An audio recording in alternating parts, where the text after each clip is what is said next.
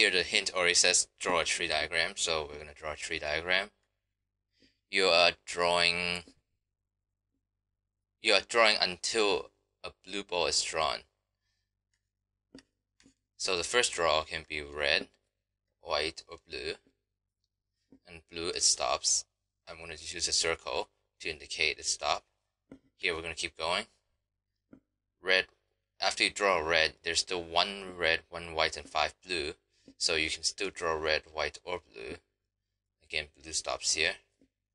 After the white, you can't have a white again because there's only one white in the box. So you can only have red and blue. Again, blue ends. If you draw a red, red, white, and then a red, well, the white is gone. There's still one red.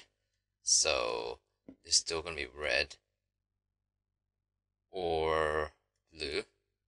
Again, blue stops here. I like to finish layer by layer, so I'm going to go up to these two layer and finish that up first.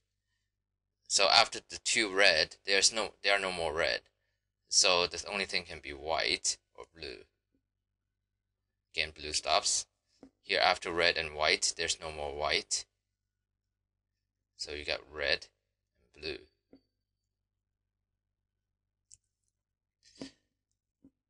Here we keep going. Two red and white. There are no more red nor white, so the only thing can be blue. Same thing here. Only thing left is blue. And also same thing here. Left is blue. So we got one, two, three, four, five, six, seven, eight, nine, for a total of nine elements in the sample space.